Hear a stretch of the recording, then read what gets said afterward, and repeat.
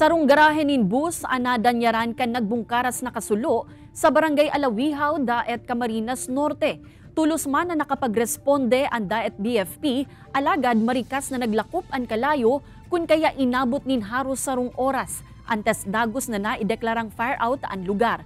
Sarong kubo, sarong raot na unit nin bus, asin mga nakatambak na ruweda anadanyaran. Mayo man ni nakulugan, alagad kinakarkulong nasa 15,000 pesos ang kantidad kan danyos na winalat kan insidente.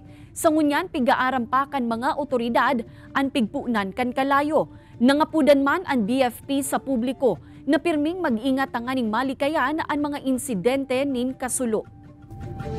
Muli mag-iingat po tayo sa ating mga gawain. Hanggat maaari po, inuulit po namin bago kayo umalis ng inyong mga tahanan, inyong opisina, pakitanggal po yung mga nakasaksak natin.